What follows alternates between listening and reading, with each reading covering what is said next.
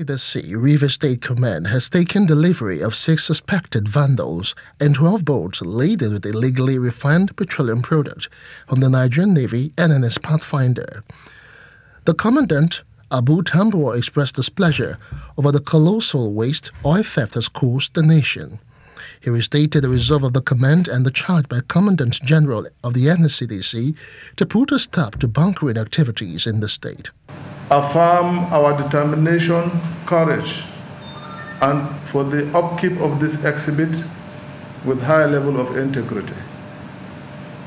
And assuredly, necessary investigations will follow and further necessary action for possible prosecution will be done by the Nigeria Security and Civil Defense Corps. The base operations officer, NNS Pathfinder, Commander Omar Sidi attributed the arrest and seizures to the launch of Operation River Dominance. This entails constant monitoring of activities on the waterways and creeks up to Cawthorne Channel. We activated an operation codenamed Operation River Dominance. So most of these arrests that we made were because of, uh, were during the course of this operation. We're able to, we have a riverine command post within uh, the creeks and waterways so we're able to um, man and establish choke points there. And because of that, we made uh, several arrests. Commandant Tambuwal called for stronger interagency alliance among security operatives in the fight against oil theft in the maritime domain. Executive Officer Nigerian Navy ship NNS Pathfinder stood in for the commander Oluwaseyi Akon and described the synergy between the Navy and the NSCDC as encouraging maintaining that the relationship will continue.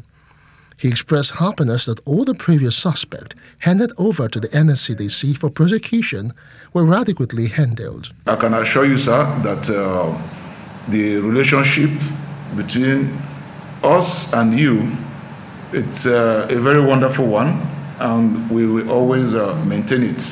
So we need each other to work.